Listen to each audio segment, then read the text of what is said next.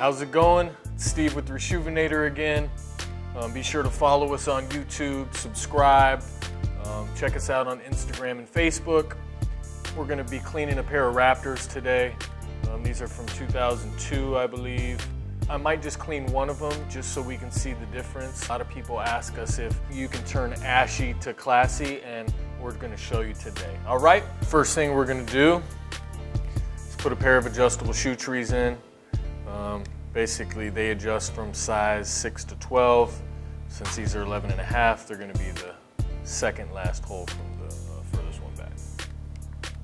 Since these are a suede type nubuck material, you can use the all-purpose, but I'm going to use the suede since these are so old.